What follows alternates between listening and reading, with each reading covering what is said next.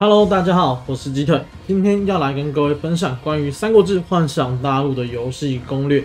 这次的内容主要会围绕在超人挑战的刷分阵容上面。那接下来我们就不啰嗦，直接开始吧。首先试炼加成这边直接照抄就好。不过由于我昨天早上这只账号并没有挑战到试炼，所以试炼点数这边会少一天的份。如果有拿到点数的玩家，可以补在防御或是抗爆的加成上面，这样分数会再往上提升。接着选好之后，我们要挑战的难度系数这边是一百三十三。除了最后这个战斗开始八趴反伤不要打勾以外，其余的我们都可以勾起来。准备好之后，就开始介绍队伍搭配吧。老实说，这次的挑战难度非比寻常了，对手的伤害相当夸张，就算是坦克职业，有可能第一回合就被秒杀。所以在角色的选择上，我们一定要尽量选择坦度与控制兼具的武将。那我会建议各位一定要仔细听完，因为我不清楚你们到底拥有哪些武将嘛，只有听完才会知道可以选哪些角色当替补。那一号位我会建议选择曹操，我们需要依赖他的怒攻来降低对手的攻防能力，同时配合羁绊的回怒效果，让整体队伍的怒攻节奏大幅提升。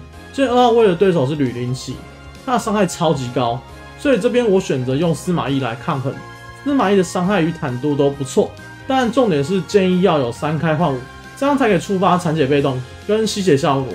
在三号位的话，对手伤害一样很高嘛，那这边我会建议各位使用有三开换五效果的貂蝉，因为貂蝉换五效果是帮自己与残血队友回血回怒，所以整体的坦度其实不错，因此算是三号位的优质人选。那四号位的话，今天选择诸葛亮，这是角色的被动可以控制对手的怒气，然后怒攻可以加快我们整个队伍的怒气恢复。这样再搭配上曹操跟貂蝉的效果，辅助类型的角色就可以发挥出非常好的效果。接着第五只角色，我自己实际测试过好几只武将，那最后比较能打出好成绩的第一位是郭嘉。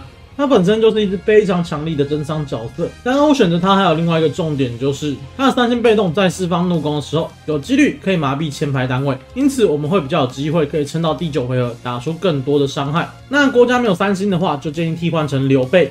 刘备的怒攻可以造成全体控怒的效果，一样是能有效的让我们存活更久。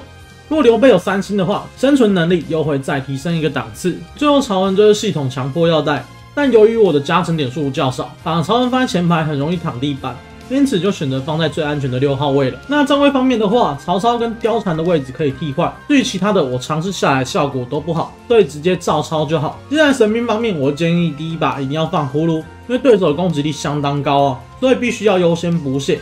接着第二把建议选择蜻蜓游刀来控制对手的怒气。当然，如果各位有和氏璧的话，绝对和氏璧是最佳选择。那最后我们才选择射日弓来打回合伤害。然后重点释放顺序这边记得改成按照技能位置释放，否则没有补到血，很容易撑不到第九回合。那如果各位的加成点数足够，扛得住伤害，就可以把葫芦改到一号位置，然后蜻蜓罗刀换成盘龙斧来增加射日弓的伤害。接着灵宠方面，主战一定要选择夫珠。我自己实际测试下来，使用辅助的伤害大约都是落在两千到三千万左右。那如果是比翼的话，最多就是一千多万。所以这个阵容辅助会远大于比翼。然后助战建议选择龙象加九尾狐，因为对手的攻击力是真的很高。所以需要龙象残血治疗加九尾狐的魅惑控制。那如果你们可以把对手血量打残，就可以把其中一只助战换成熊猫。这个潜能方面拼伤害就对了。所以曹仁三一三一，郭嘉三二二三，诸葛二二一三，然后貂蝉三二三三，司马懿三一三一，最后曹操三二三三。至于战魂方面，全部的角色都建议选择弱点突袭来拼伤害就好。然后换武方面就建议司马懿跟貂蝉要三开的换武效果。我自己测试司马懿没有放换物，伤害其实也差不多，但容错率会下降不少，因此建议要有会比较好。那这组阵容目前最高的伤害就是十九万四千七百七十九分，无论是用刘备或者是郭嘉，伤害都有成功达到十九万这边。如果你们有更多的加成点数，要破二十万或是更高，我想应该都有机会。那最后我建议各位在尝试这组阵容的时候，也不要花费太多次数。我稍后还是会继续测试其他角色的可能性。如果研究成功，就会尽早上片。那晚一点我会上传另外一组高分阵容，但对于角色的需求也真的提升不少。那希望这次影片有帮助到大家。我是鸡腿，我们下次见，拜喽。